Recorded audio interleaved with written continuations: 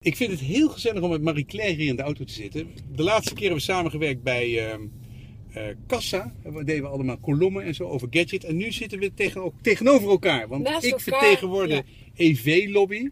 En Marie-Claire kwam ik in een propagandafilm tegen over eh, groen gas. Hoe, kwam dat opeens? Ja, het was één grote propaganda, een aanval op de EV-lobby.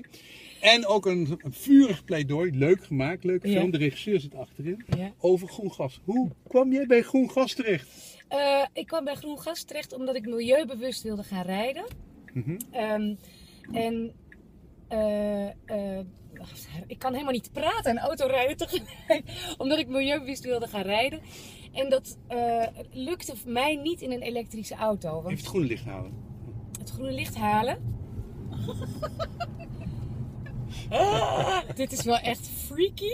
Zo. Dan moet je op de linkerbaan. Oh, dit is, dit ik is een auto voor de linkerbaan. afbaangevoel. Ja, dit is een auto, dit is voor een auto voor de linkerbaan, niet voor de rechterbaan. eh, Marie-Claire. Sorry jongens.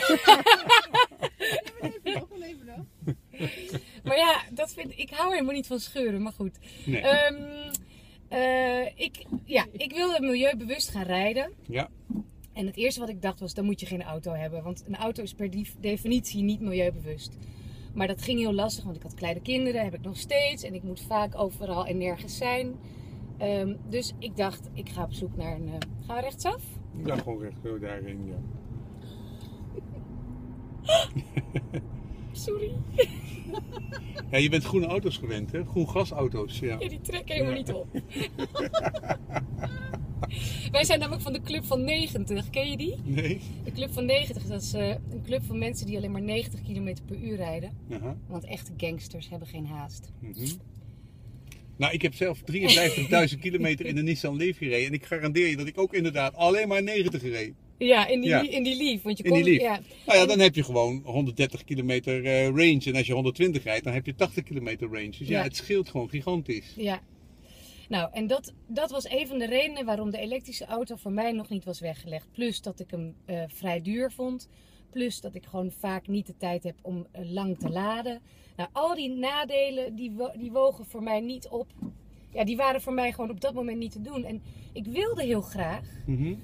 Maar toen zag ik een onderzoek. Ik las een onderzoek over rijden op groen gas. Over die brandstof. En dat dat in Nederland wordt gemaakt. En dat dat van eh, gewoon Hollandse viezigheid wordt gemaakt. Wat we hier toch niet nodig hebben. Organisch afval. Organisch afval, En daar komt koeienmest. gas uit. Koeienmest. En toen dacht ik, nou, ik, ga, ik ga eens kijken wat dat dan is. En toen bleek dat daar wel auto's eh, op waren die voor mij geschikt waren qua prijs, maar ook qua actieradius. Want ik heb nu een auto waar ik 350 kilometer mee kan rijden op dat gas. Ja.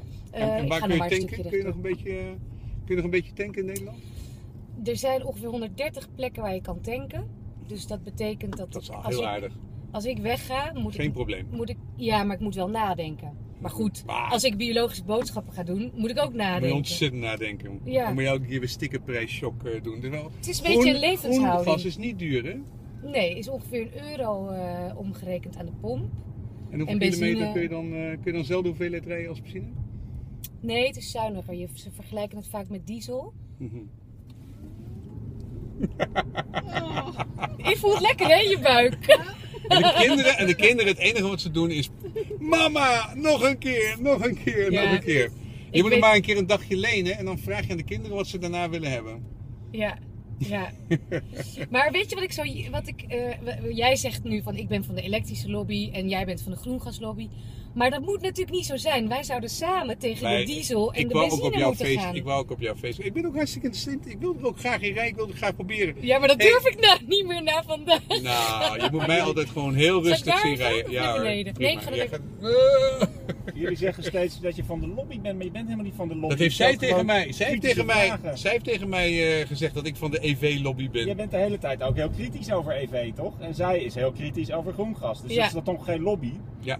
Hey, wie heeft die film eigenlijk gemaakt? Eh, wie heeft die film betaald?